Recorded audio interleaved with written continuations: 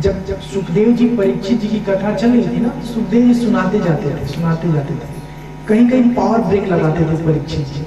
महाराज ये अमृत की तो सबको ज़रूरत होती है। इसका मतलब क्या है? इसको जरा विस्तार से कहेंगे सुखदेव जी कहते हैं कि दुर्वासा के शाप से इंद्र का स्वर्ग बलि ने छीन लिया था। दुर्वासा का श्राप इंद्र को लगा एक और कथा आ गई। ऐसे कथा में अंतर कथा कथा में अंतर कथा चलती रहती। हुआ क्या था? दुर्वासा को किसी ने माला पहनाया था। वो माला बहुत खुश थे तो इंद्र को पहना दिए। और इंद्र ने निकाल के अपने हाथी को पहना दिया। दुर्वासा जी के सामने और हाथी ने तोड़ करके मसल दिया उसको, पैरों से। गुस्सा आ गया दुर्वासा से। बोले दूरी बात तु, तुझे बहुत अभिमान है ना जिस स्वर्ग के सिंहासन के कारण जाते रहे स्वर्ग चला जाए। बस गया। अब क्या हुआ? बलि को जैसे ही पता चला वो आकर इंद्र से स्वर्ग छीन लिया। देवगढ़ भगवान की स्तुति किए भगवान प्रकट होकर उपदेश किए कि देखो चिंता मत करो। हाँ कोई बहुत बात बिगड़ने वाली नहीं है ठीक है? इस समय असुरों पर काल की कृपा है। देखो, एक काल भी बड़ी चीज़ है। कहते हैं, खुदा मेहरबान तो गधा पहलवान। ऐसे हमको किसी ने सुनाया कि प्रभु की कृपा अगर हम पर है तो हमारा कोई बाल भी वादा नहीं कर पाएगा। तो इस समय तुम्हारे ऊपर कृपा नहीं है, इसका मतलब ये है। और अभी पक्ष है, समय है असुरों के हाथ में। जाकर उनसे मित्रता कर लो जो बलवान लोग होते हैं उनसे लड़ाई नहीं करते उनसे संधि कर लेते हैं। फिर क्या होगा? एक कथा थी। एक एक चूहा था हाँ, और एक सांप।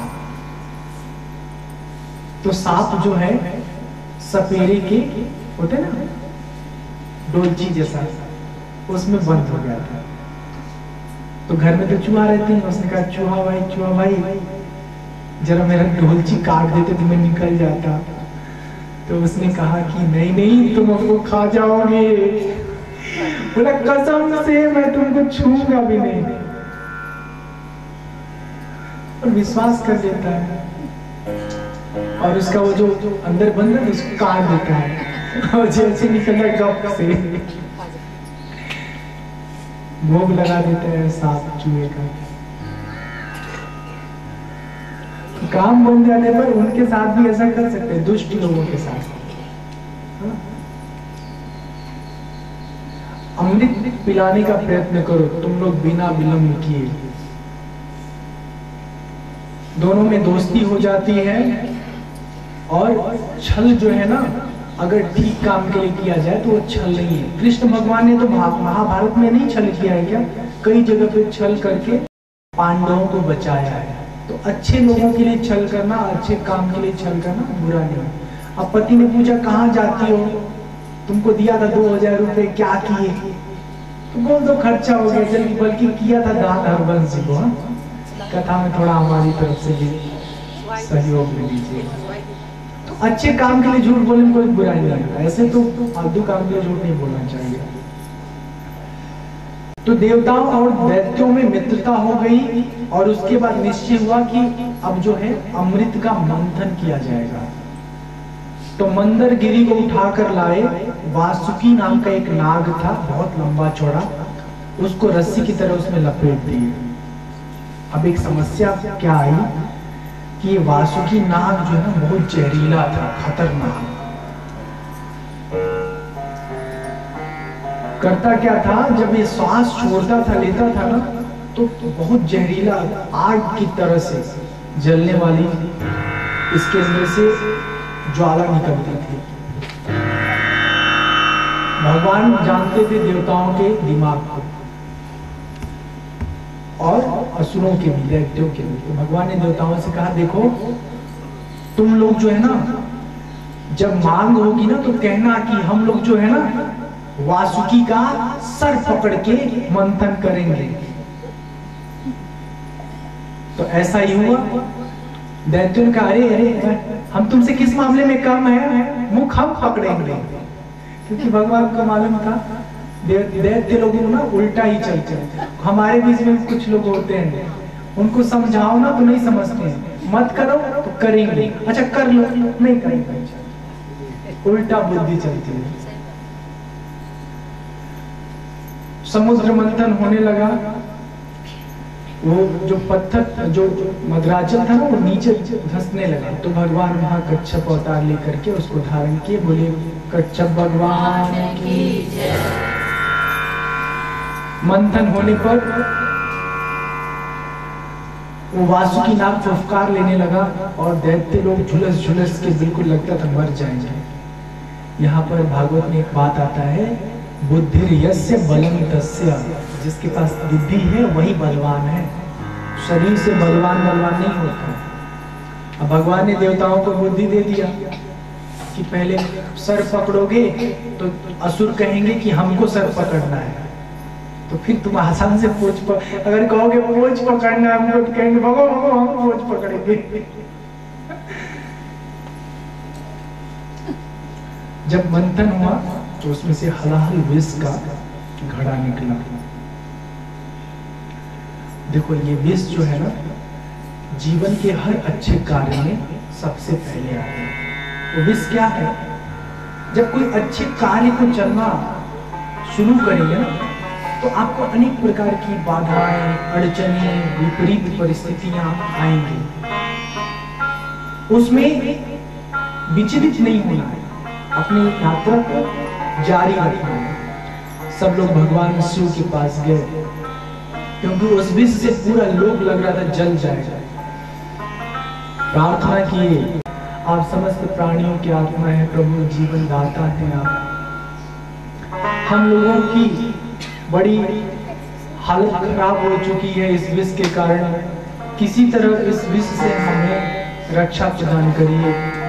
हमें बचाइए नाथ। शंकर जी, बहुत भोले हैं, बहुत कृपालु हैं।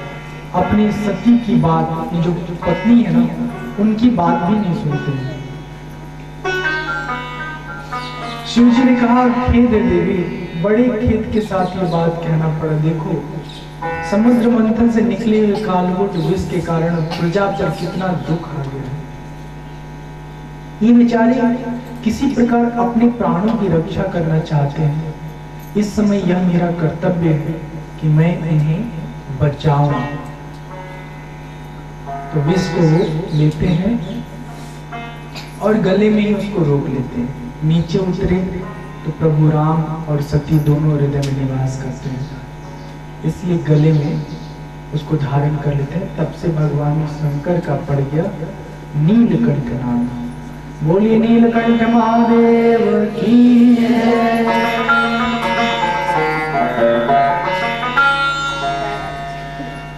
इसके बाद क्या होता है? एक घोड़ा निकलता है जिसका नाम है उच्चल श्रवा। जिसे बलि ने मांग लिया। बलि ने कहा, ये घोड़ा हमको चाहिए। इसे हमें प्रदान कर दीजिए दे दिया गया उसको। एरावत निकला तो इंद्र ने उसे ले लिया। आगे लक्ष्मी जी प्रकट हुई। सारे लोग जो सोए थे, जाग गए। पैसे में तो बड़ी ताकत है। अगर दस रुपए नीचे गिर जाता है तो पक्का है। कि कोई ना कोई नज़र पड़ता है और और कई लोग तो सोचते रहते हैं, काश ही तो योल बाज़ार करने जा रहे हैं एक हज़ार की गड्डी गिर जाती तो कितना अच्छा रहेगा अपनी नहीं गिर जाती, दूसरे की। और पीछे से हम ही पहुँचते।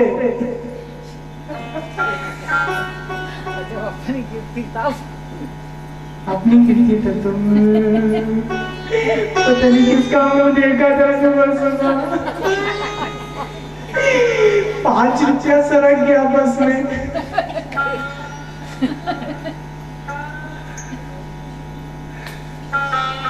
अच्छा घर में होगा कौन दूसरा? पति के अलावा। पति, पत्नी, साथ ही रहते हैं। सुबह उठने से पहले, सबसे पहले एक दूसरे का देखते हैं। लक्ष्मी जी का पूजन किया और झगड़ा होने लगा कि हम लेंगे हम लेंगे हम लेंगे। सबने निश्चय किया। भाई देखो, ऐसा है कि इनको एक माला दे देते हैं, जिसको ये पसंद करेंगे, उसके साथ शादी कर लेंगे नो प्रॉब्लम कोई समस्या नहीं है। सबने कहा, ठीक है, चलो मान लेते हैं। सबसे पहले लाइन में दुर्वासा जी मिले। जब लक्ष्मी जी ने देखा तो मन में सोचती है कि तपस्वी तो बहुत अच्छा है। वो बहुत क्रोधी है बहुत गुस्सा करता है। किसी दिन गुस्सा के का भस्म भाव तो ही जल जाएँगे। ऐसे दुष्ट पति के साथ नहीं रहना, इसको पति नहीं बनाना। इसको वर्ण करने से रोज मार पीट होगा तो छोड़ देती है। जो बहुत क्रोधी होते हैं, याद रखना, उनको लक्ष्मी जी नहीं मिलती है। उनके जीवन में लक्ष्मी का कृपा नहीं रहता है। इसका मतलब ये है गाँव में कहावत है कि बनिया नरम शासन गरम और कन्या को शर्म होना चाहिए। ठीक है? नरम मतलब अपना काम निकाल लो, बस पास करके आज तीनों उल्टा हो गया है। आगे बृहस्पति जी मिलते हैं। ज्ञानी तो बहुत हैं, पर आसक्त स्वभाव वाले हैं। इनके जीवन में ना इन मतलब चीज़ों से बहुत उलझे हुए हैं जुड़े हुए हैं तो कहती है इनके साथ नहीं रहना है। ये ये, ये वस्तुओं में ही उलझे पड़े हुए हैं। ब्रह्मा जी मिलते हैं कहते ये कामना विजय नहीं है। इनका एक बार एक ऐसा भी प्रसंग आता है कि अपनी पुत्री पे इनका मोह हो गया था तो कहती नहीं ये भी ठीक आदमी नहीं है। तो जो जो ठीक आदमी नहीं है ना उनके पास लक्ष्मी जी नहीं रहते हैं। अब देवराज इंद्र आते हैं सामने। तो सोचती है स्वर्ग का राजा है, पर हमेशा भागता रहता है। भाग भाग भाग जब जब दुष्ट डराते हैं, भाग के छोड़ भाग पता चला कोई मेरे पीछे पड़ा तो हमको भी छोड़ के भाग जाएगा। इसलिए कायरों के पास धन नहीं आता। पता है ना, जो व्यवसायी होते हैं ना, जो बिजनेसमैन होते हैं, बहुत साहस करते हैं। एक करोड़ रुपए लगा के बिज़नेस स्टार्ट किया। तो इतना साहस है ना कि कुछ फ़ायदा होगा, कुछ नुकसान होगा, देखा जाएगा। और जो डरपोक लोग है ना, वो कहेंगे, एक करोड़ रुपए ना, क्या करो? या तो ज़मीन खरीद लो, या बैंक में डाल दो तो पाँच हज़ार हर महीने का सूद मिलेगा, अपना रोटी दाल चल जाएगा। सनकादि मिलते हैं। ठीक है? सनत, सनंदन, सनातन, सनत कुमार, याद रहना चाहिए। कई बार हो जाता है। तो इन्हें कहते कि ये तो वैरागी लोग हैं, इनको धन देने से फ़ायदा क्या? उठा के दूसरे को दे देंगे। अब अब मान लो ऐसे समझो कि अगर कोई लड़की साधु से शादी कर लिया, छोड़ के भाग जाएगा तो उसका जीवन ही बर्बाद हो जाएगा ना? इसलिए उसको भी नहीं चुनती है लक्ष्मी जी। जो साधु महात्मा लोग होते हैं ना, वो सामान्य तौर पर उनके पास लक्ष्मी होती नहीं है। इधर से आती है, इधर से सरक जाती है। भोले बाबा मिलते हैं शिव जी। कहते विद्वान हैं, किंतु इनको रहने में आता नहीं। नंग धड़ंग। कुछ आगे चलती है तो देखती पीताम्बर ओढ़े, सोया हुआ एक महापुरुष मिलता है। लक्ष्मी ने पूछा, ये कौन है? सभी लोगों ने कहा, नारायण है। लक्ष्मी ने कहा, देखो सर्वगुण संपन्न तो यही है, किंतु इसमें भी एक दोष है। मेरा स्वयंवर हो रहा है और ये निश्चिंत होकर सोया पड़ा हुआ है।